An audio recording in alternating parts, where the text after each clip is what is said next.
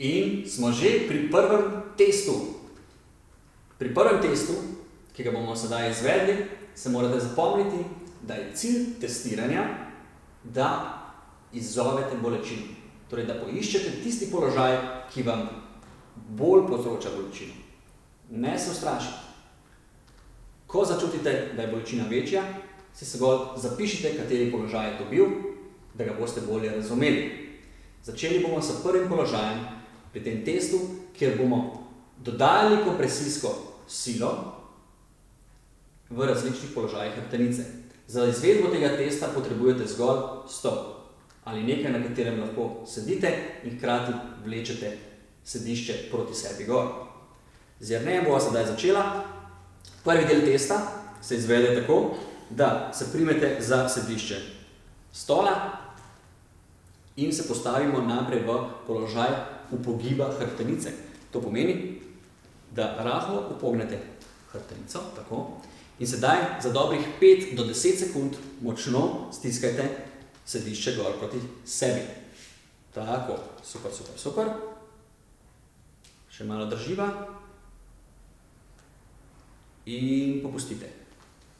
Dobro spremljajte, bojite, bodite čuječi do sebe, dobro spremljajte nivo bolečine. Se je povečal ali zmanjšal.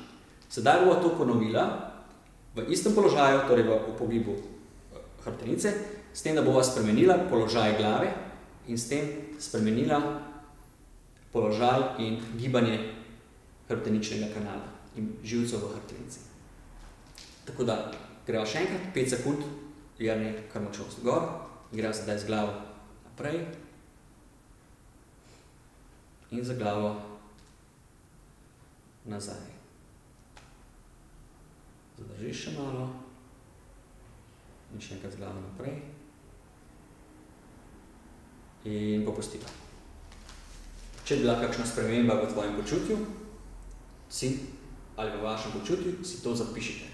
Torej, kateri je bil položaj glave in hrbtenice v spodnjem delu da se je, da se je bolečina spremenila. Gremo sedaj v neutralni položaj. Neutralni položaj je tisti položaj, kjer so sile najbolj optimalno razdeljene po hrbtenici. To pomeni, da je to položaj, kjer zagotovimo rahlo lordozo v ledvenem delu, torej nežno krivino v ledvenem delu in nasprotno krivino v prsnem delu.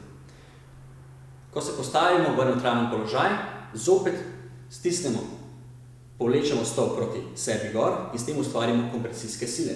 Pri tem testu pogledamo, ali imamo kakšne težave z vretenci in pa z ploščami v vretencih. Kar držimo nekaj sekund, popustimo, tako, se malo spočijemo in se pripravimo na drugi del tega, ko bomo še gibali glavo zraven. Torej, gremo kar stisnemo gor, gremo sedaj še tako kot prej, glava naprej in glava nazaj. Izvedbo tega testa vam ni potrebno delati s partner, partnerjem. Če boste dobro razumeli knjigo in pogledali te posnetke, boste lahko to naredili sami. Okay? Zopet si zapišete svoje občutke bolečine na lestvici od 1 do 10, da dobro spremljate potek, kako, bolečina, kako se bolečina odziva na različne položaje. Gremo sedaj še v zadnji del testa, torej v iztek. Tukaj morate povečati ledvino lordozo, tako. In sedaj bomo pogledali, kako se bolečina odzove pri tem testu, kar greva stisneva gor, super, drživa nekaj časa in popustiva, malo spočijete. Sedaj bomo šli pa še na drugi del tega položaja in sicer spremembo položaja glave, kar dobro stiskava in greva še glava naprej.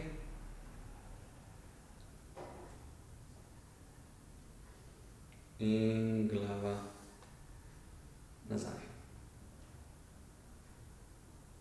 Ok, dovolj. Super, ne pozabite dobro si pišite in zabeležite različne občutke pri različnih položajih.